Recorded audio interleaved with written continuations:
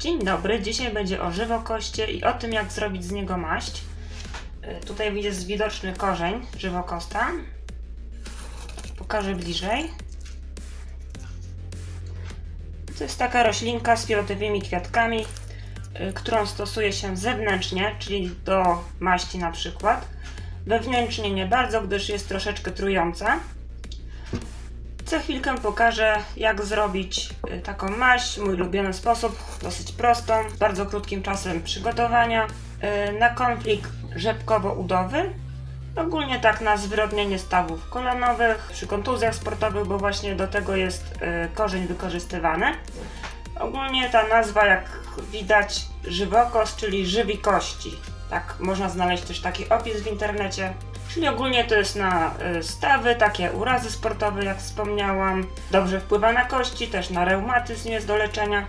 No i za chwilkę pokażę, y, jak ten maść się robi, a na koniec będzie mały zestaw ćwiczeń wspomagających. Do zrobienia maści będzie potrzebny moździerz i taka garstka tego korzenia.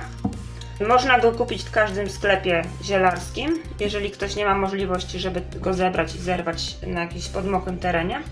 Jak ktoś nie ma moździerza, to może wykorzystać zwykłą miskę i taką ucieraczkę do ciasta. No i sposób jest prosty, bo wlewamy odrobinę gorącej wody, zostawiamy na jakiś czas i później dodajemy olej i będziemy to po prostu y, na papkę ucierać tłuczkiem. Wody naprawdę odrobinkę, tak na wyczucie. I to tak odstawiamy na jakieś 10-15 minut. Już tutaj korzeń nasiąknie wodą, to dodajemy troszkę oleju. Tak też odrobinę.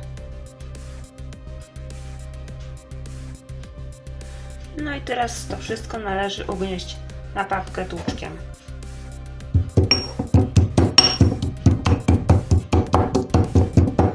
Rozdrobniony korzeń będzie mniej więcej tak wyglądać. Bo tutaj jest niewielka ilość tego. Mam kontuzję sportową i aż tak dużo tego nie potrzebuję. No i teraz to wystarczy nałożyć na kolano. Najlepiej sobie najpierw posmarować skórę, żeby nie było odparzeń. Jakimś kremem albo na przykład maścią nagietkową. Na nałożoną maść kładziemy jakiś opatrunek. Może to być na przykład wata, yy, nawet ręcznik kuchenny. O. No i zawijamy na koniec bandażem.